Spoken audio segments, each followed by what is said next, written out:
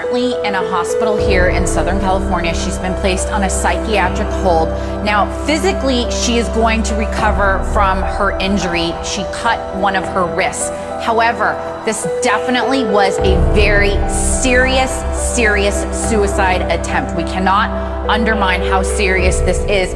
We can only hope that she's going to get the professional help that she so desperately needs. As you said so eloquently, Jane, it was just last week that she put this video on YouTube, which she was giving a makeup demonstration. She looks like a well adjusted, normal teenager.